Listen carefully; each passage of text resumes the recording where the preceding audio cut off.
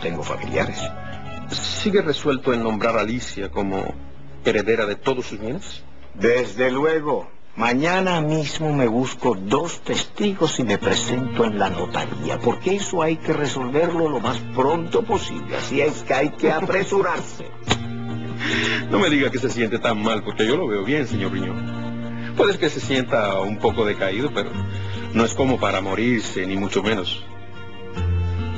Cuando alguien tiene mi enfermedad, la muerte siempre está acechando y puede tocar la puerta en cualquier momento. No me quiero morir porque tengo muchas cosas que hacer, pero debo estar prevenido. Porque lo peor que puede pasar es que mi fortuna quede a la deriva y vaya a caer en manos de quién sabe quién. Por eso necesito dejar arreglado todo este asunto. Lo necesito.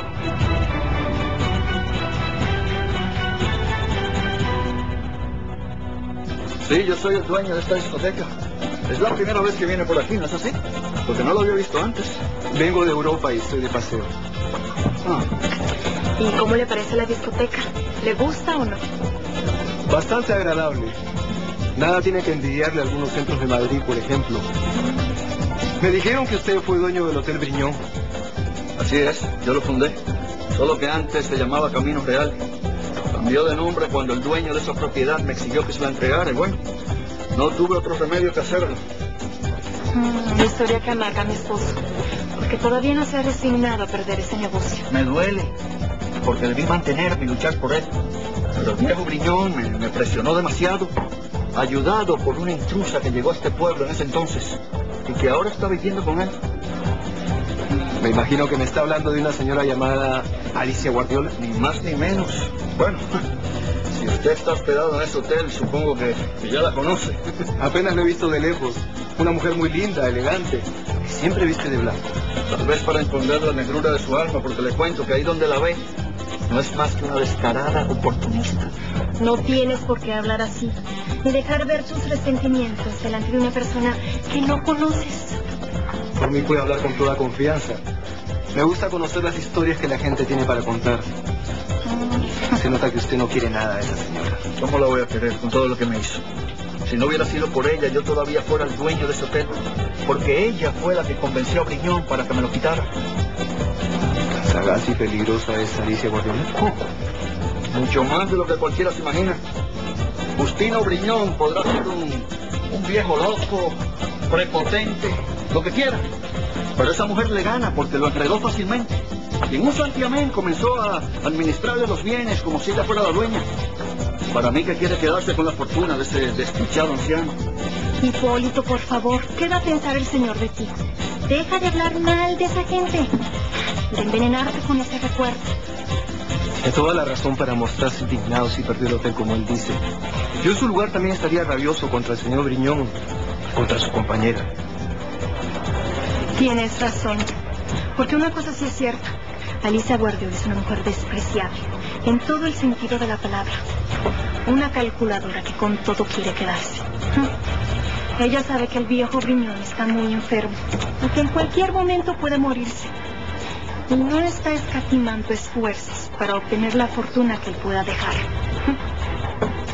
Bastante interesante lo que me están contando. Salud. Salud.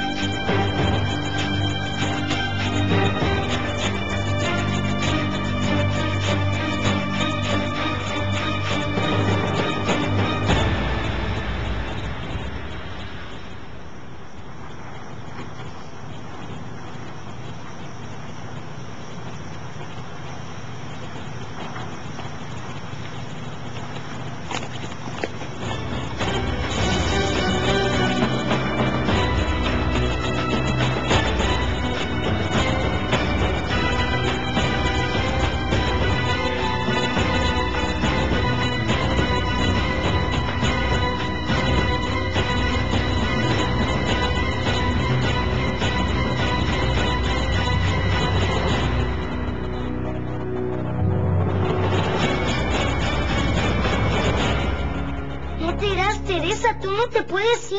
O sea, ¿cómo te vas a ir, Teresa? Doña Perfecta no me despidió personalmente, pero la señorita Iluminada y don Laurentino me aseguraron que ella les dio la orden para que me despidieran. Eso no es cierto. La abuela no te echaría sin tener razón. Es una injusticia, porque mejor servidora que Teresa no hay ninguna. Segurito mañana me echarán a mí también. Por el trabajo no me importa, porque no tardaré en salir a la calle para que me ofrezcan algo. Aunque me duele mucho tener que dejarlos a ustedes dos en manos de esa gente que se están desmandando y haciendo lo que les dicta su reverenda gana. Tú no te irás, Teresa. No vamos a dejar que te vayas.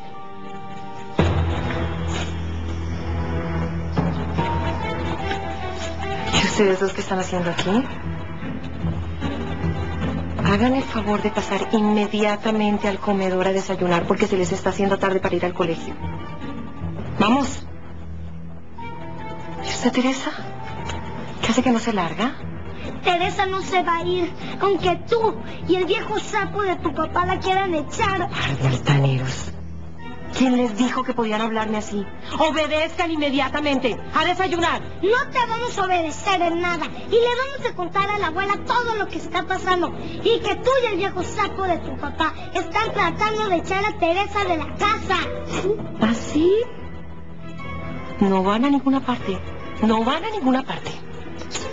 No sé. Déjame, No van para ninguna parte. Vamos a hablar con la abuela aunque no No, quiera. no, señor. No. Déjame. No me pegue. No me pegue. Teresa no se va a ir. Se va a dejar.